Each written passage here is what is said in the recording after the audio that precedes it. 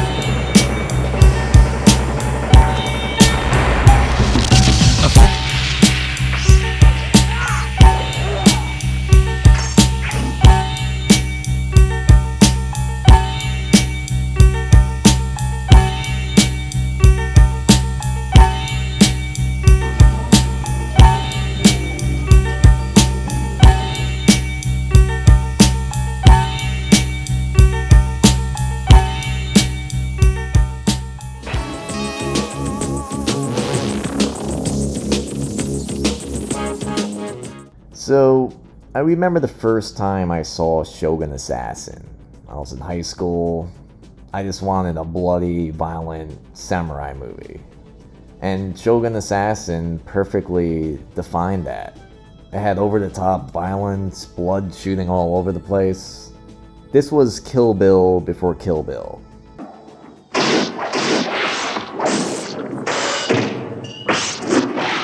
Actually, the first time I heard about it was while watching Kill Bill Volume 2. There's a scene with the bride's daughter, and she's a kid watching just this over the top violent movie. I think she's watching it right before bedtime, too. Which one do you want to watch? Shogun Assassin. No, BB. Shogun Assassin is too long. It was kind of just there to show that this kid shouldn't be watching this. He cut off the heads of 131 lords. I mean, Shogun Assassin is just that excessive, exploitative, you know, violent, bloody film. It's known for that. Just the first time I put the DVD in, and the menu screen is just this beheaded guy with a fountain of blood shooting out. From that very moment, I was blown away. Just the over the top blood effects, the action, the villains, the score, great music, the bad voice dubbing. Pompous fool. The wolf lures you to your grave. This is what it was all about, though. This is exactly what I wanted. I must have rewinded every fighting scene in this like a million times.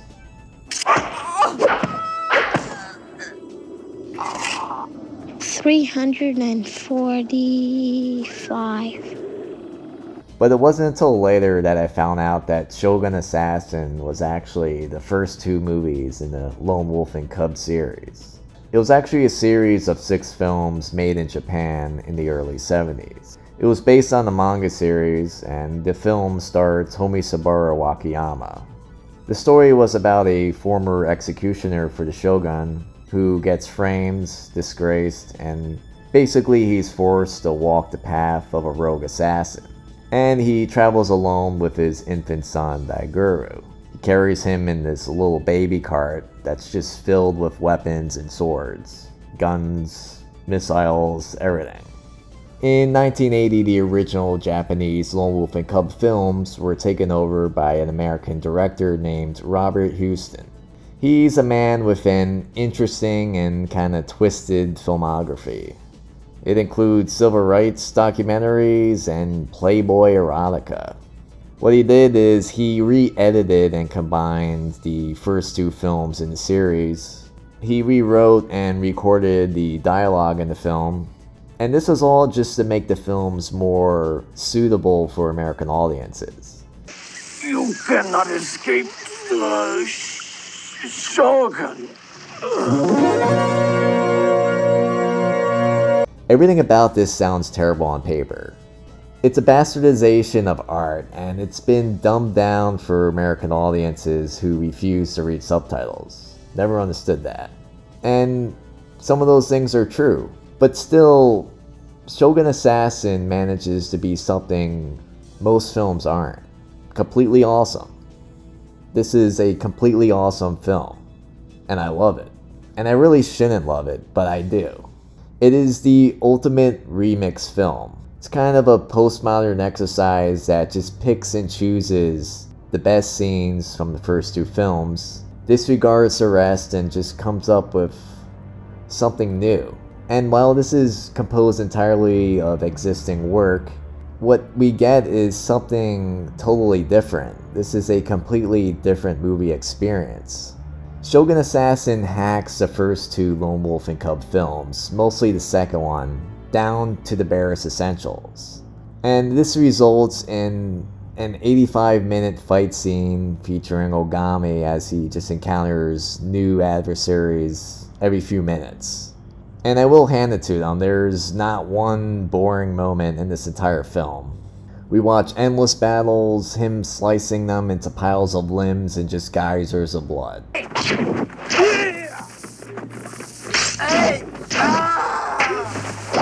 Simply by abandoning most of the plot, Shogun Assassin kind of drifts along from moment to moment. The editing itself has a dreamy, non-linear quality to it. And I actually think that it's improved, not weakened, by the new voiceover from the 70 year old Gibran Evans. The Shogun just stayed inside his castle and he never came out. People said his brain was infected by devils. And I actually like having Daigoro narrate in this film, it gives him more life.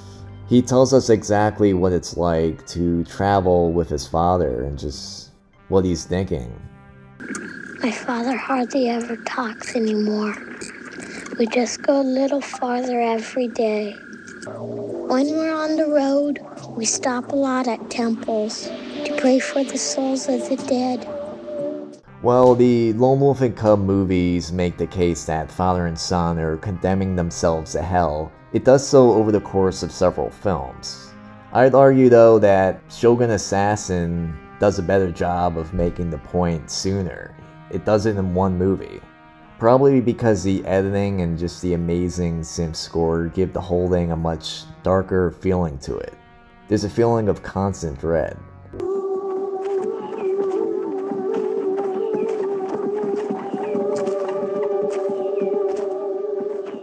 And again, I really like the narration they added with Daigoro.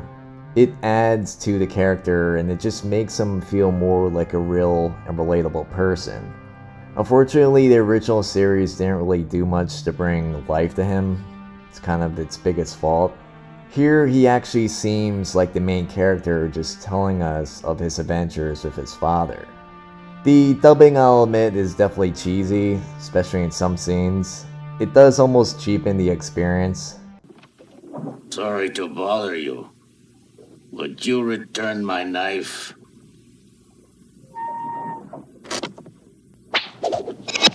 I do, however, really like the main character of Ogami's voice actor. I think it just goes perfectly with him.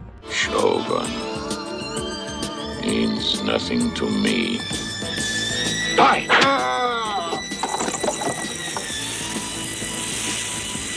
But majority of the time for me, it just reminds me kind of the Wu-Tang Clan samples. For any Wu-Tang Clan fan, you'll just love this movie. You'll know why. I also feel like it gives it kind of that 70s kung fu film feeling.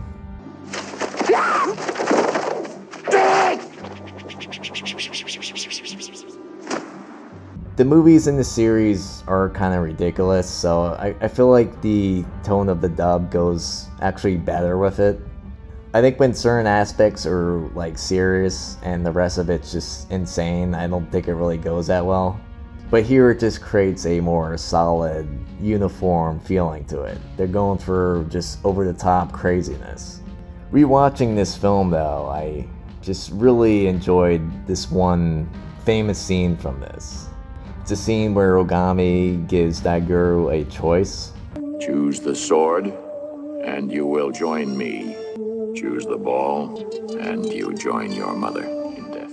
What this really is, is a rite to passage into becoming a man. Daigoro is given the ultimate choice to leave his life of comfort with his mother. It's a choice that men throughout history have all had to make. And this is usually at a certain age. His father tells him to become a man and survive, or refuse to and die. This is a violent world where only the strong survive, and it's just perfectly depicted in this one scene. What's pretty interesting too is the same exact scene is recycled in the Mandalorian show. This is where Luke gives Grogu the choice to either join him and become a Jedi, or to choose a gift that his friend Mando gave him and just live with him. I mean, it's Disney, so it's obviously just butchered, but still a nice nod to the original movie that this show was influenced by. And actually, George Lucas has said many times that he was influenced by Akira Kurosawa and samurai films. So it's nice we're still seeing that even today. Because Shogun Assassin was an edited version of the first two Lone Wolf and Cub films, there's only five Shogun Assassin films. Somewhat later, the third Lone Wolf and Cub film was also dubbed into English and it was released by the name Lightning Swords of Death. In his hands, cold steel became lightning swords of death. Only a few edits were made in that version, and the translation is pretty much straightforward to the original movie. Eventually, the other three Lone Wolf and Cub films were also dubbed into English. So Shogun Assassin really is its own creation. There's nothing else like it. Listen to me, Lone Wolf. I want your head. I can't emphasize enough how this feels like a totally different movie. I can't say the same thing about the sequels, but just the fact that this one has selected scenes from the first two films changes it from the original too. The pacing itself has no doubt changed. The American version focuses more on blood and swordplay, and it focuses less on the Buddhism and Bushido code of the original. However, this is still essentially the same story. The film itself is an episodic wandering from point A to point B. Assassins come into his path, and Ogami just destroys them with his sword. And sometimes the baby cart gets some kills in there. Pimped out with spring-loaded daggers and ankle-severing axle blades.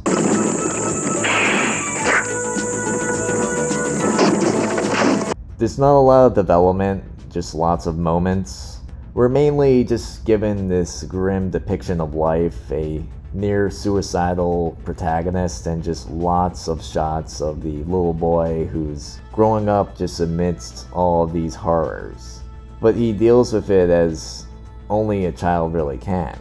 Whether Houston achieved his goal to make a more American version of the Japanese films is really beside the point. Fanboys will debate which version is better, either the American or the original Japanese. And this will just go on till the end of time. When I asked my subscribers whether they like Shogun Assassin more than the other films, I got a pretty mixed reception on that. I feel like the people who like it kinda grew up with it, while the others are more purists. Each film just offers a slightly different take on the same story. Beyond debate is just the influence of the film.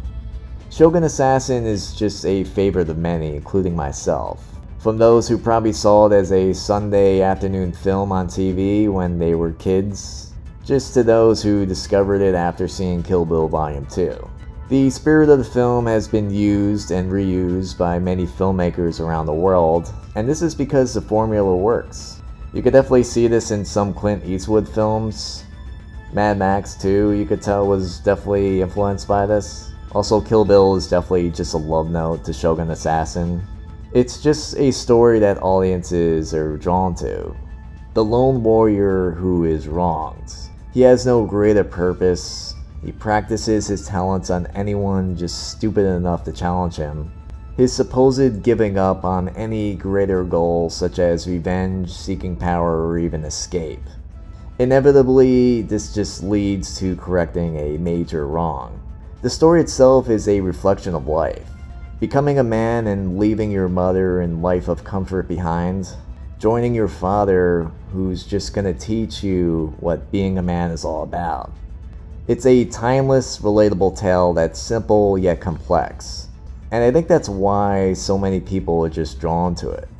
Shogun Assassin doesn't necessarily lend itself to the conventional standards of what makes a great film, and especially that it doesn't have a traditional writer and director and cast. Because Robert Houston just took what Kenji Misumi already had done and he reoriented it into something that was better suited for American audiences.